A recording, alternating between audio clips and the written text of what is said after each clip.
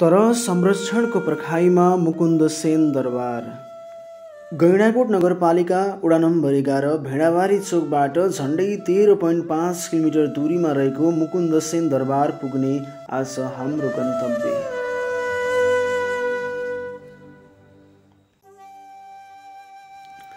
दुई पाइला हिँड्ने बित्तिकै थाक्ने हाम्रो शरीर। आज साथीभाइको मिठो गफ र वनमा चरीले गाएको गीतले थकाइ कम गर्न सहयोग पुगेको छ।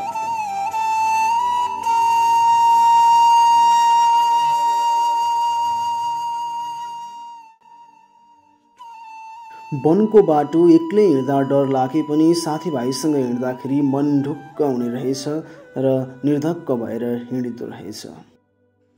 तर संरक्षणको पर्खाइमा छ मुकुन्द सेन दरबार पुराना संरचनाहरू भत्किसकेको बताउँछन् यहाँका पुराना बासिन्दाहरू। तर पनि केही अङ्गभङ्ग भएका सिमेन्टले बनेका मूर्ति छन् मुकुन्द सेन राजा र भगवान् शिवको यहाँ।